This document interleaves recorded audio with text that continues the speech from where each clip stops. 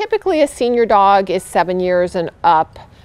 Smaller dogs tend to live longer. The smaller dogs these days are living to be 17, 18, old, and even older than that. Bigger dogs tend to live 12, 13, 14. We've had some large breed dogs that live to be 15 or 16. So it depends upon the size and the breed. But just like people, um, there's biological age and chronological age. And so um, a lot of dogs these days who are seniors who are really well taken care of, they're getting good nutrition, they're getting supplements, good medical care, good exercise. They can be active and happy and healthy into their teens.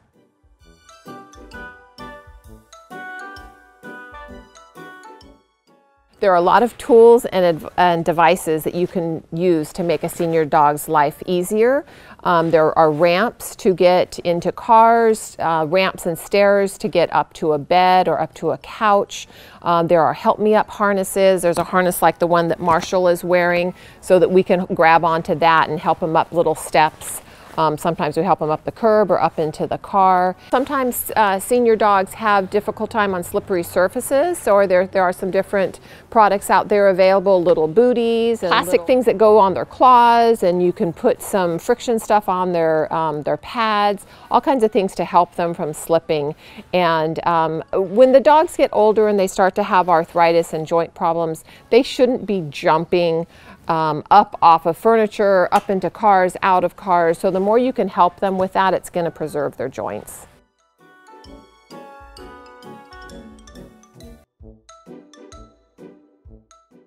I think um, that everyone should be prepared for a period of adjustment, not only for the dog, but for yourself. You're creating a brand new routine in your life.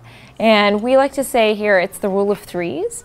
So it's gonna take your animal three days to kind of get used to its new environment, three weeks to get used to you, and three months to fully blossom into the dog that is gonna they're gonna be for the rest of their lives. Even for me, we recently adopted a dog about a year ago, and every day he gets more and more confident. He was a confident dog to begin with, but it's just like any relationship, even if you fall in love right away, you continue to grow together and it's really incredible.